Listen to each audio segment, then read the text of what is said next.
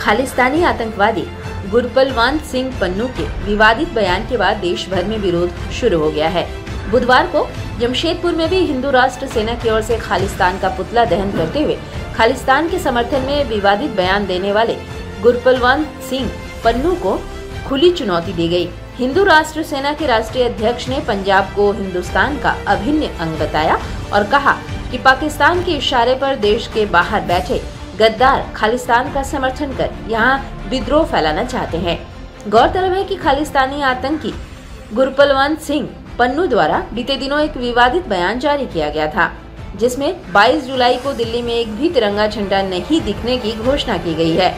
उसी विवादित बयान में ये भी कहा गया है कि 22 जुलाई को दिल्ली में खालिस्तान का झंडा लगेगा, जिसके बाद से देश के लोगों में आक्रोश व्याप्त है।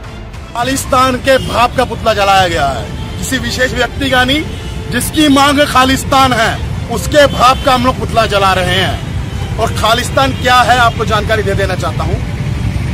पंजाब, जो हमारे हिंदुस्तान का, हमारे देश का एक अटूट हिस्सा है, जिस पर हर एक हिंदुस्तानी का हक है।